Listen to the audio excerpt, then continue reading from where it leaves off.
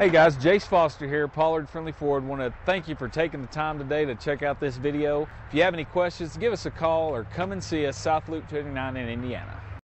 We are pleased to show you the 2021 F-250 Super Duty. Head-to-head fuel efficiency, head-to-head towing, head-to-head torque.